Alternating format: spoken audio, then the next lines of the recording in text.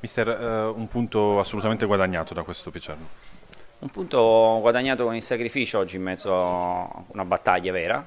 E abbiamo vestito panni un attimino più operai nella giornata, nella giornata di oggi e questo è sinonimo anche di crescita. In un percorso nuovo assolutamente su tutti i punti di vista eh,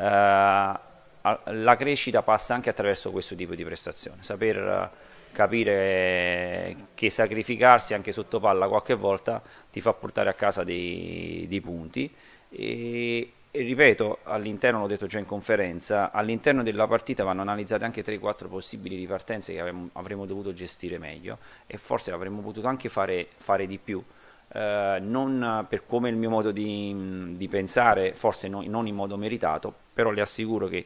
eh, nelle precedenti quattro partite che ci hanno visto protagonista abbiamo eh, subito partite o sconfitte o pareggi eh, dominando, dominando, il gioco, quindi conosco bene quale può essere il rammarico dall'altra parte, quindi oggi siamo stati un po' noi i, i, eh, i calciatori, la squadra e lo staff che ha approfittato del dominio degli altri per provare ad andare in ripartenza. Ecco, ha detto in conferenza stampa che è forse la gara in cui si è corso di più, sì, perché io intendo le, le, corse senza palla sicuramente sono quelle che eh, ti fanno soffrire di più, perché poi è meglio avere la gestione del, del pallone che rincorrere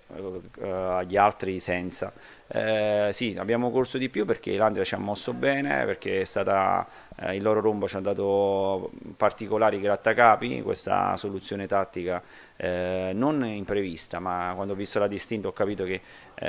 Mister Cudini aveva cambiato qualcosa, ci ha messo sicuramente nelle, nella difficoltà di dover co correre ai ripari. Forse avremmo dovuto sfruttare meglio i, i terzini che eh, abbiamo servito anche parecchie volte, ma in realtà non, non siamo mai più uh, riusciti a, a colloquiare terzini esterni in modo da mettere in difficoltà la retroguardia avversaria. Ripeto, la partita secondo me è stata preparata bene da entrambe le squadre, eh, nella lettura, cioè che torniamo alla domanda che mi hai fatto inizialmente, che ci portiamo a casa un punto importante su un, un campo di una diretta concorrente ben allenata e noi continuiamo a crescere nel nostro percorso.